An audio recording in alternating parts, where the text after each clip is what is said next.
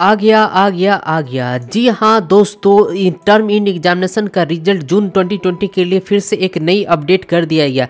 यहाँ पर दोस्तों देख पा रहे स्टेटस एज ऑन तीन दिसंबर।